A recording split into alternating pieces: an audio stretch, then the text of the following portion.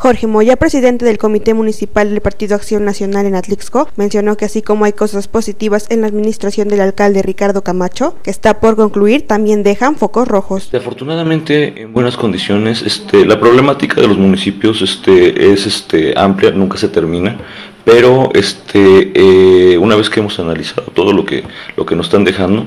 hay focos rojos, hay focos amarillos, hay focos verdes también. Eh, el área de gobernación es un área complicada, pero este, afortunadamente en lo general, Atlisco es un municipio que, que, que tiene unas condiciones de gobernabilidad y estabilidad muy buenas comparadas con otros municipios del estado y, de, y del país. Entonces, este, eh, la relación con el regidor saliente es buena, este, nos están dejando carpetas de todos los temas que van avanzados, de hecho ya nos hemos involucrado también directamente en algunos temas este, eh, para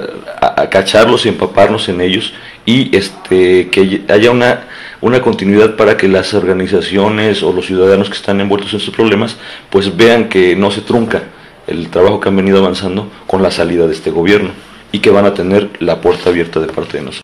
Comentó que están trabajando en cuanto a la administración que encabezará el ingeniero José Luis Galeazzi. Estamos ya este, en los últimos preparativos, tanto para la parte protocolaria como este, en lo que es el diseño de lo que va a ser la estructura de gobierno para los próximos cuatro años, ocho meses.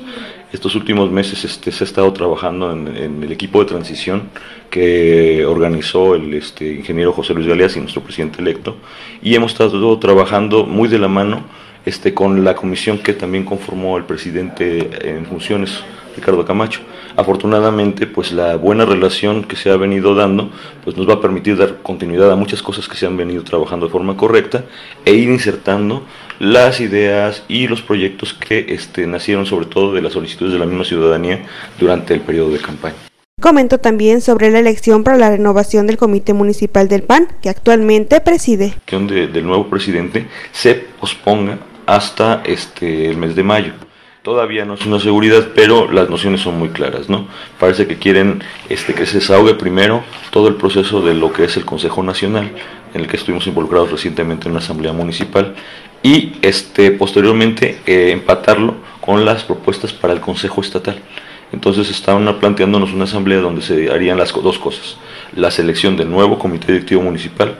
su presidencia y sus miembros, y la selección de las propuestas para el Consejo Estatal. Por ende, pues estamos nosotros a la disposición de lo que el Comité Estatal, que es nuestra autoridad, disponga y mientras estemos requeridos aquí en la posición estaremos trabajando. Generalmente tener este, una este, militancia panista de por lo menos tres años, eh, no tener nada que les impida hacerlo, es decir, tener sus derechos partidistas a salvo, que no tengan este, eh, algún, este, algún procedimiento, ya sea político interno o los que han sido funcionarios públicos que no hayan tenido alguna, algún, algún problema y que alguna autoridad los esté investigando, por, por, por, decir algo,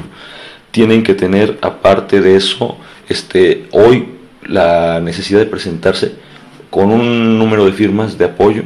de militantes, este son, tengo entendido que son 30, y aparte, una diferencia con los procesos anteriores es que hoy se van a tener que presentar ya con una planilla este, para presentarla. Tradicionalmente nosotros lo que hacíamos es que se seleccionaba al presidente y en la misma asamblea él ya, una vez que ganaba, presentaba su propuesta de, de, de, de comité y la asamblea lo aprobaba. Hoy no, hoy la votación va a ser por el candidato a presidente y toda la planilla.